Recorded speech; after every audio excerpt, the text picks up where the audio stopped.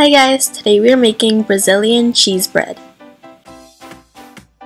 You are going to need oil, some tapioca flour, evaporated milk or whole milk, some salt, and one egg.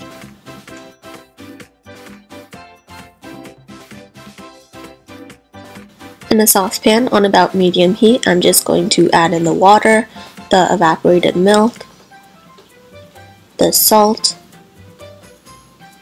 and the oil, and then just start mixing that, and you're going to want to wait until this comes to a boil.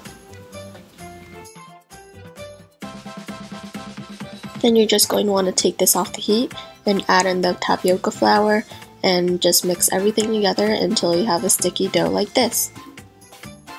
Now I'm just going to put this in my stand mixer and start mixing it until it becomes creamy and has cooled off. Now I'm just going to grate the cheese and it took a really long time so I definitely would suggest just buying it at the supermarket because it will be a lot easier. Now you're just going to want to add in one egg and start mixing that together until it is combined. Now I'm just going to add in the cheese and mix that in as well. The consistency was supposed to thicken up and be like a dough consistency, but it never did, so I just ended up pouring this into mini cupcake tins and bake them, and they will be light and fluffy like this.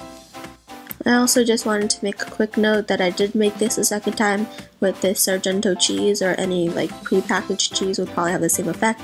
We do want to use fresh cheese because this cheese has a very light tasting taste and it will taste like nothing.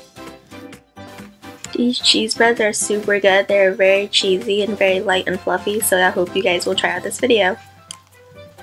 Anyways, thank you guys so much for watching. If you guys would like to see last week's video where I made peppermint patties, then you can click the link right there. Also, if you guys have any requests for any future baking videos, then just leave it in the comment box below.